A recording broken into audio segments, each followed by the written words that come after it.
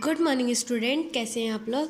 चलिए, हम स्टडी शुरू करते हैं क्लास यू के जी आपका सब्जेक्ट होगा हिंदी. हिंदी की वीडियो नंबर आपकी है ट्वेंटी वन ट्वेंटी में हमने सीख लिया था छोटे की मात्रा बड़ी की मात्रा किस तरीके से लगाई जाती है और कैसे जोड़कर पढ़ी जाती है. ठीक है, जोड़कर कैसे लिखा भी जाता है भी हमने सीख लिया था.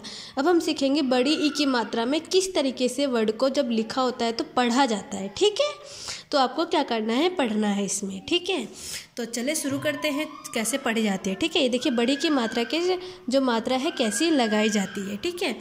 तो देखिए यहाँ लिखे ई, बड़ी की मात्रा ई ख तो क्या बन गया?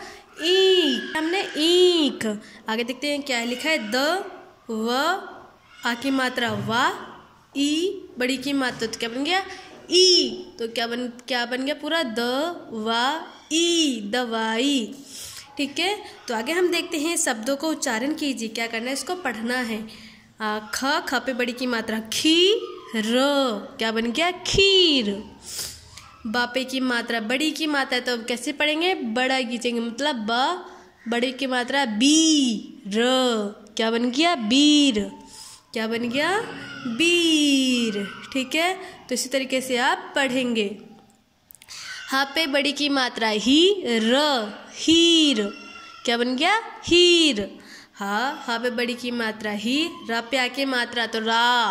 आ, रा पे आके मात्रा, रा। तो ही पे की मात्रा, ही। रा पे आके मात्रा, रा। तो ही रा हीरा ना पे की मात्रा, नी। फिर र तो नीर। ख पे की मात्रा, खी। रा पे की मात्रा, रा, खीरा। मी ता मीता, सी, माँ, सीमा।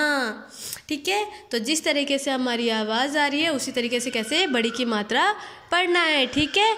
नी, ला पे की मात्रा ला तो नी, ला। चा, बी चाबी मा, ली माली खा, ली खाली पी, ला, पीला, दा, दी दादी पो ये आपको नहीं पढ़ना ओ की मात्रा एक शब्द आ गई ठीक है? तो इसको नहीं पढ़ेंगे आप, इसको नहीं पढ़ेंगे जब ओ की मात्रा हम सीखेंगे, तब हम पढ़ेंगे। आगे देखते हैं क्या है? शा शा पे की मात्रा शी, लापे की मात्रा ला, सी, ला।